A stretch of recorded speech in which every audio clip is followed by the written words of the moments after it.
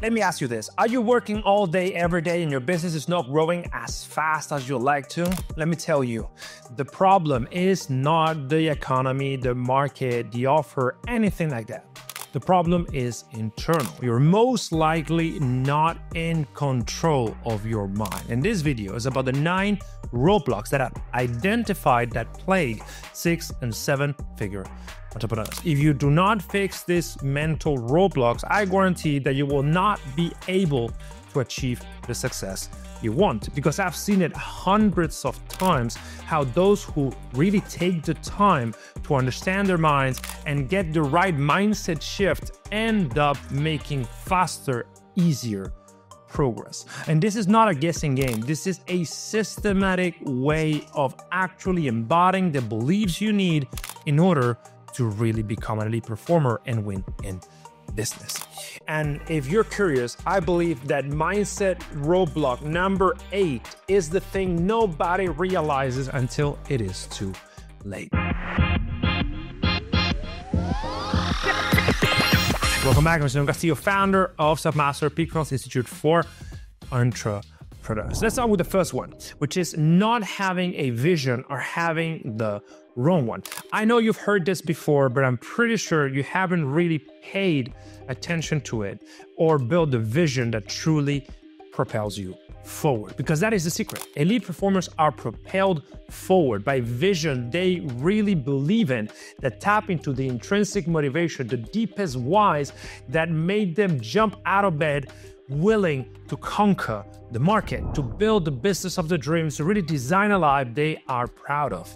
Average entrepreneurs don't take the time to design a vision, or they are running on shallow motivators. They are motivated by money, status, fame, things that will eventually fade away and keep them stuck. When you have a clear vision that is intrinsically motivated, that you believe in, everything becomes easier because you now know what to prioritize. Now you know what things are meaningful to you because they're taking you closer to that vision. So that is mental roadblock number one is not having a clear vision. Which leads me to mental roadblock number two is not thinking the vision is important enough. In other words, not guarding your vision. I've had this conversation thousands of times. Hey, dude, I designed a vision and it didn't work. Like, what, did you actually protect it? Did you actually guard it from external interferences? Did you actually say no to everything that was not aligned with that vision? Did you consistently design systems in order to protect the hours of work needed and the mindset shift and the belief system to actually make you chase that vision faster? If the answer is no, then no wonder why you didn't get that vision, right? So it's mindset roadblock number two is not actual believing that chasing your vision is an actual work in progress. It's not something you do once, it's something you consistently commit and improve on. The good news is that once you have said no enough times, it becomes exponentially easier because you internalize what I call the iterative mindset, which is realizing that success, the vision, is really a few iterations of what you are consistently doing. So you say no to everything that is not aligned to the vision, and you eventually iterate your systems enough times to eventually get that vision. But there's a problem with chasing the vision, which is mindset roadblock number three idolizing the vision. And this is very subtle, but it really hurts lots of entrepreneurs. So, Imagine you have that vision, you absolutely believe in it. It is based on what you truly want in life. You protect it, you guard it, you say no to everything that is not aligned. But then you idolize it. Then you see it as something that is cool to aspire to, not as a reality that is in the making.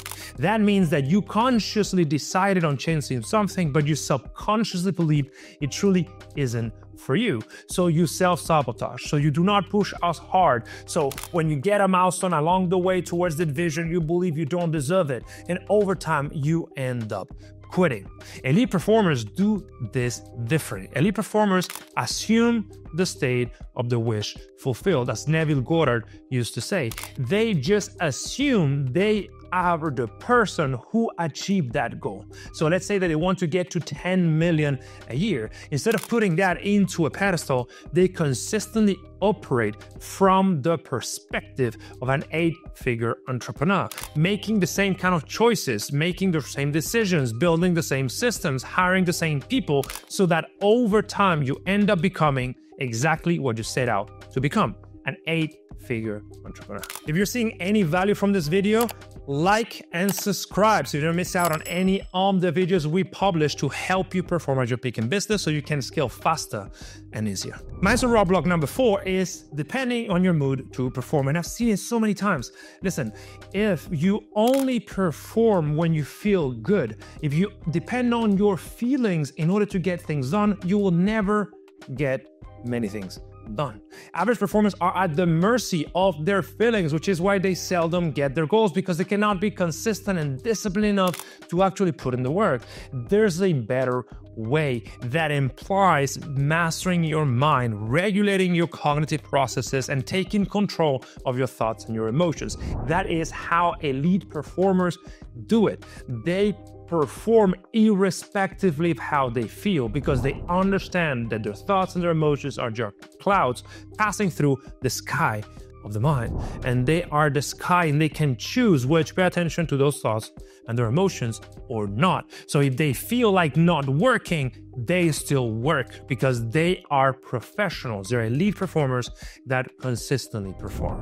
So if you are not feeling like working, it doesn't matter because you are going to do it anyway. And this is the fourth mental roadblock that I see a lot of people falling into, which leads me to mental roadblock number five, which is misunderstanding what resistance really is. So, resistance is the subconscious resistance that you get when trying to focus, when trying to do something that is hard. Neuroscientists call this limbic friction. In other words, you decide consciously to do something, but you subconsciously just don't really want to do it because you fear failing, because it is painful, because you just don't feel like it.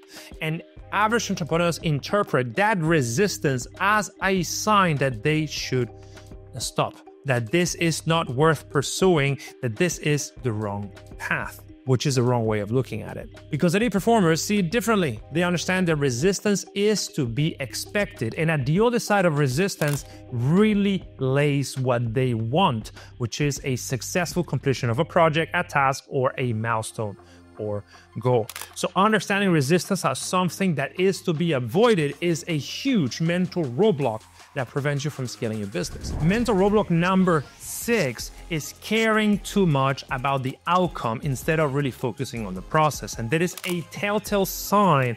And this is a crucial difference between average and elite performers. Average entrepreneurs are consistently obsessed with outcomes, obsessed with scaling, obsessed with getting to seven figures, obsessed with, you know, getting an award, whatever. They're obsessed about an outcome they have no control over, which leads to micromanaging every single tiny aspect of everything that they do in hopes that that will guarantee the outcome, but that doesn't work because the complexity of the world far exceeds our ability to actually compute it. So, no matter how much you try to control everything, there'll always be things outside of your control that will affect your chances of getting the outcome. So, never obsess about the outcome. The better way of looking at this is obsessing over the process and letting go of the outcome. If you commit to mastering every single tiny process, but you still understand that there are things outside of your control and you show up every day at peak performance, working as much as you can with as much intensity as you can, you end up getting the outcome. And oftentimes, not in the way you initially thought you would. But that doesn't matter because you always end up winning. And if you look at elite performers in the arts, Leonardo da Vinci, in business, you know, Elon Musk, Richard Branson, whoever you admire the most, they are never consistently obsessing over an outcome. They are obsessing over having fun when mastering the process. And that is a crucial mental roadblock that I really urge you to avoid because it plagues even the most intelligent folks. Mental roadblock number seven is not eliminating doubt every time it arises. See, being in business is hard, mostly because the world is unpredictable. We're trying to build a predictable business that gives us predictable profit, but things are changing all the time. We have to make decision under uncertainty with incomplete information, which oftentimes leads to doubting ourselves, doubting our decisions. Average performers, they entertain those doubts. They waste days thinking, agonizing about things they have to make a decision on. They really take long and long know, before they can ever decide on something. And the more they wait, the bigger the doubt becomes and the more paralyzing it ends up being. And it typically leads to worse decision down the road. And the entrepreneurs, they have doubt just like everyone else, but they make the case of moving as fast as humanly possible to validate the next steps so they don't have time to entertain any doubt. Every time you doubt yourself, realize that that typically is a good sign because it implies that you are operating under uncertainty, which is the only way in which you are going to make progress. If you know exactly what to do at every single moment, you're not risking enough, you're not going beyond enough.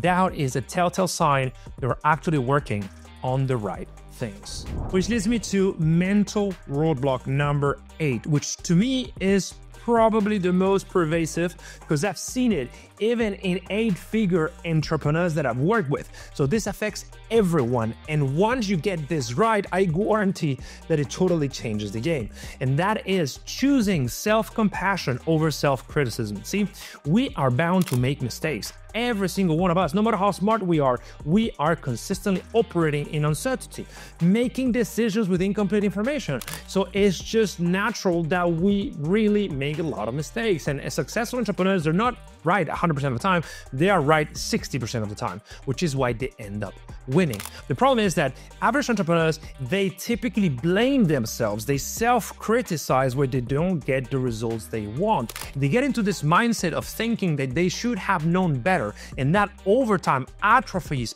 their ability to make calculated risks. When you have had enough failures in a row, you end up retreating and you do not continue pushing as hard as you need in order to grow your business.